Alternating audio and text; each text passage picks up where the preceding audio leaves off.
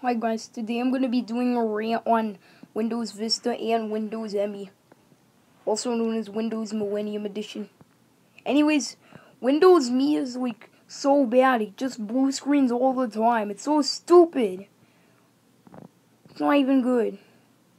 And Windows Vista, like, seriously, Windows Vista, it's so freaking slow. It takes so slow to install. And it's even best sold anyway. People are basically wasting their money on Windows Vista.